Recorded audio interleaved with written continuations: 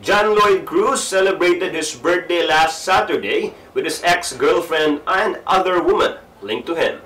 That's right, kung ang uban di ganahan makikita sa ilang mga ex, lahi si Lloydy. Several photos and videos of the actor's private birthday celebration in June 24 are making rounds on social media.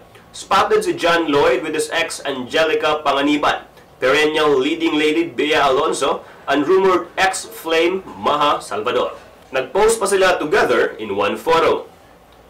Kahinumdumang si John Lloyd ug Angelica nag-date for almost 4 years before sila nagbuwag ni atong January 2016.